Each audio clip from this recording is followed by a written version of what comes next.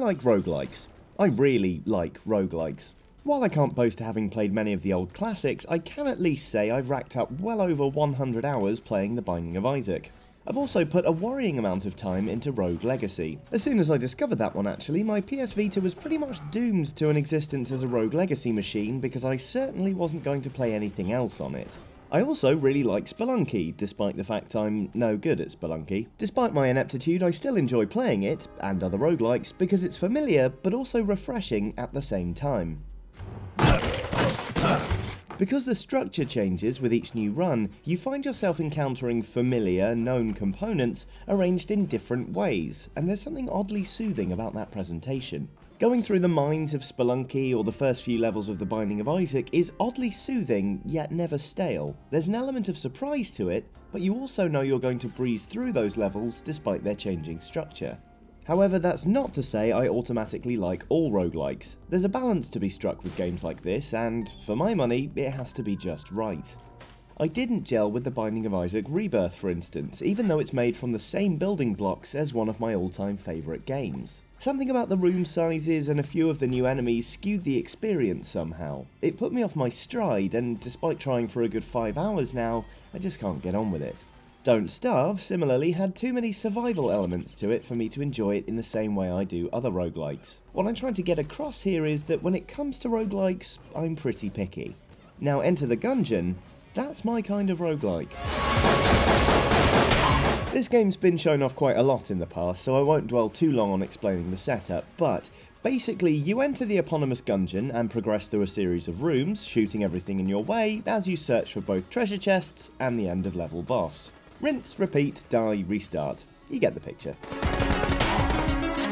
While I found the gun-heavy premise a bit off-putting before playing Enter the Gungeon, it actually does a great job of making it feel just right. The enemies die with a satisfying pop, and the movement mechanics are really fluid, which is handy because Gungeon also plays around at being a shmup far more than its contemporaries. At times, the sheer amount of gunfire on the screen at once really demands your skill and attention, and your positioning is far more important than in The Binding of Isaac, for instance.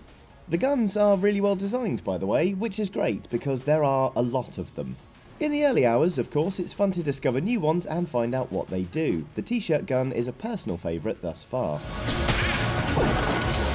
That said, I'm also looking forward to the stage when I'm comfortable with most of them and can tell at a glance what each item drop means for the chances of this particular run. Because, like all good roguelikes, Enter the Gungeon is a world you have to learn to read.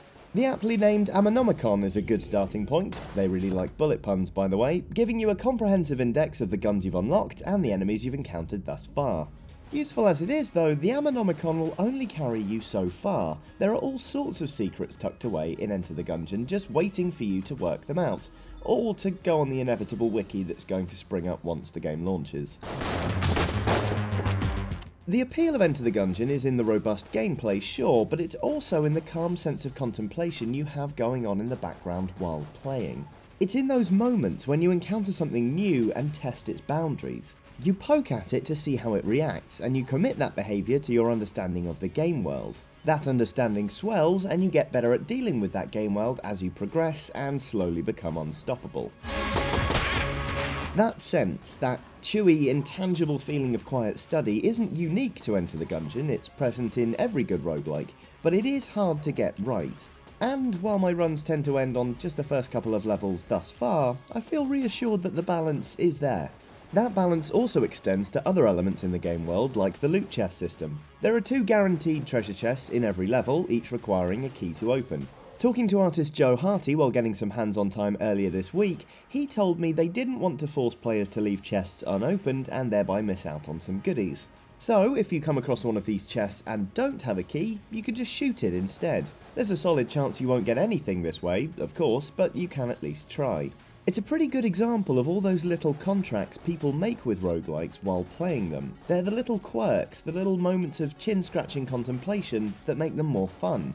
Do I shoot the chest now, or go looking for a key and maybe end up with less health going into the boss fight? Or, as in The Binding of Isaac, do I deal with the devil and take this item, or is that extra heart container more valuable? The answer, obviously, is shoot the chest, even if you feel like an idiot afterward when you get nothing. Because that sense of uncertainty, that roll of the dice, that's where the best bits of roguelikes actually lie. So yeah, Enter the Gungeon. It's a good roguelike. While we're talking about those actually, Rogue Legacy inspired me to make a feature on games that remember when you die and try to make something out of it, if you want to watch that.